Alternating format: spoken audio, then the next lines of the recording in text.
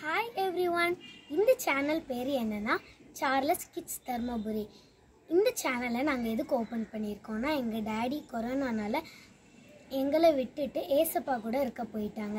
அந்த நினைவாக நாங்கள் இந்த சேனலை நாங்கள் ஓப்பன் பண்ணியிருக்கோம்.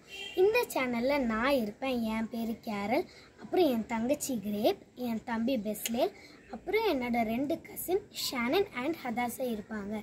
நாங்கள் வந்து இந்த சேனலில் எங்களுக்கு தெரிஞ்ச விஷயத்த உங்களுக்கு ஷேர் பண்ணுவோம்.